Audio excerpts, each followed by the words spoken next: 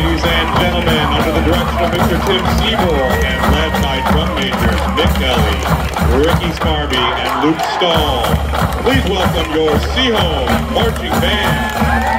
The band would like to give a special welcome tonight to the families of the class of 2023 band members.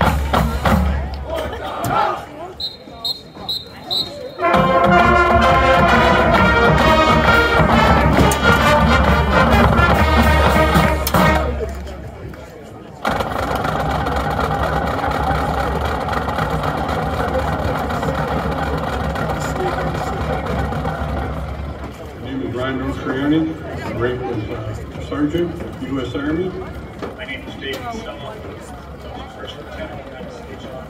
My name is Dave Champagne, PSE in Marine Corps. My name is Rick Spicer. I served in the Army, came out as an E5 sergeant. Ladies and gentlemen, the privilege of this event is made possible by those that have fought and continue to fight for the freedoms we enjoy.